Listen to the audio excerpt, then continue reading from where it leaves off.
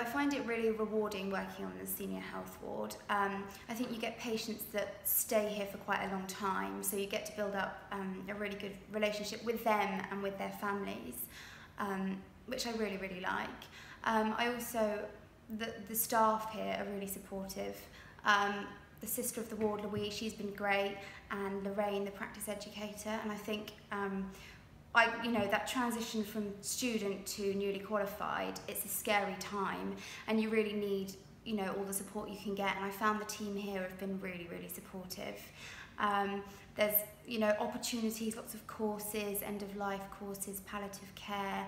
Um, and, you know, there's the, the options and opportunities to progress to a band six